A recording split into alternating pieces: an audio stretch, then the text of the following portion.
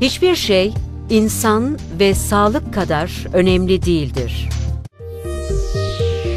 Avrasya Hospital Sağlık Rehberi Toplumumuzda karın ağrılarının çok sık yaygın olmasının nedeni beslenme alışkanlığımızın dengesiz olmasından mıdır hocam? Ee, bizim ülkemizde e, mide bağırsak hastalıkları çok sık. Hem beslenme alışkanlıklarımızdan işte bu yağlı, kızartma, baharatlı yiyecekler fazlaca Biliyoruz ama, tüketiliyor. evet, Evet, evet.